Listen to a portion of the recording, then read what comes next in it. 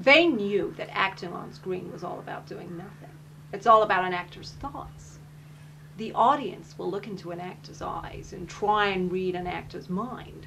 The less emotive an actor appears, the more the audience will believe the performance is a complex one. Veyne recognized that, and he mastered the technique. Veyne did less than anyone had ever dared do before. Some critics found his style monotonous. They said he didn't bring much to the party.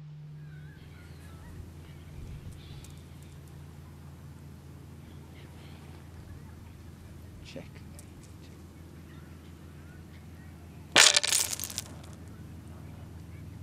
You got married to Katie Beaver, the script editor on The Rowdy Boys. Yes. I loved her, and she loved me.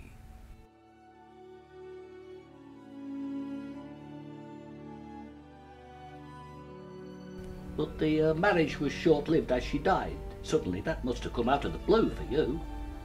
Oh God, it, it, it was a terrible shock. Not only to me, it was such a shock to everybody. But first, everything seemed normal.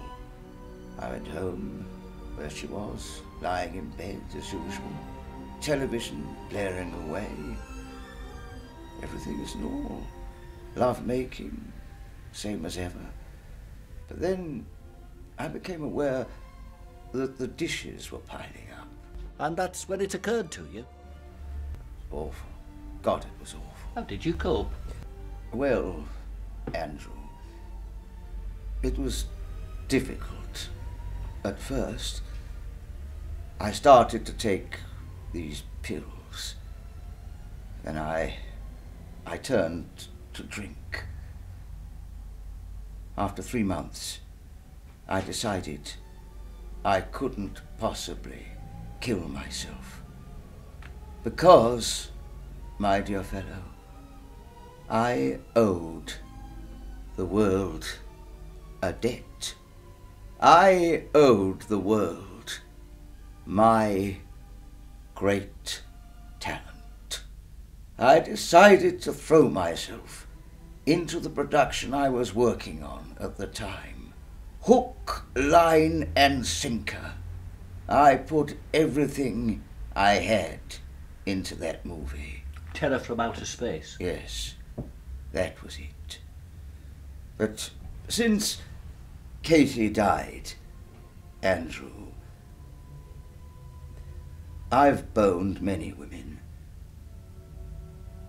But Katie was the one and only true love of my life.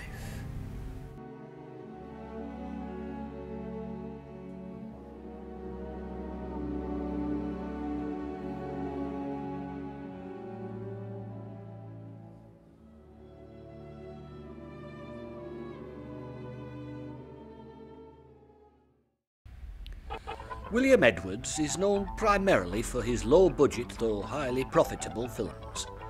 He liked to work outside the studio system and created a formula for quirky characters, offbeat plots laced with social commentary and clever use of special effects. His films were typically shot in three weeks on extremely low budgets. The films you made with Edwards were not always well received by the critics, were they? No, what would they know? They don't recognize genius when they see it. Uh, you're referring to Edwards, I presume. Oh, yes, yes. Uh, of course, I was referring to Edwards. His films were very popular with the young audience. In fact, in his way, he was something of a cult director, and of course, I myself a cult actor. Me, I'm shitting myself here, man. He's got to play. Fucking hell, man. You're gonna use that? Well, don't fucking hold it unless you're gonna use it. Come on, use it, man. Cut me. Cut me.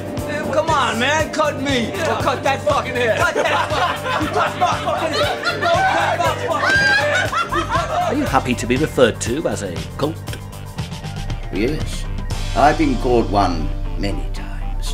I ain't a faggot. I like putting up the ass, but front of fucking chicks' asses, not fucking guys' asses. He is the faggot. You know what we call him? You know what we That'll call be a real we man. call him psycho. That's what we psycho. call him. I ain't no fucking psycho. No, you're Don't call me a psycho. No fucking one psycho. fucking. You really called me? You are a No one fucking fucking called me a psycho, man. psycho. I'm telling You faggot fucking asshole. No one You're called me a fucking psycho. No fucking call me a fucking psycho. You fucking asshole. You fucking. Hey, listen, listen. Hey, hey, oh, no one fucking knocks my fucking I'll fucking kill that man. No one You knocks fuck. my You fuck with me. You fuck with me. You're fucking dead. But I must candidly admit to you, Matty, that some of the films I've made have been real stinkers. But there is one particular film of which I am inordinately proud. And that film is Terror From Outer Space.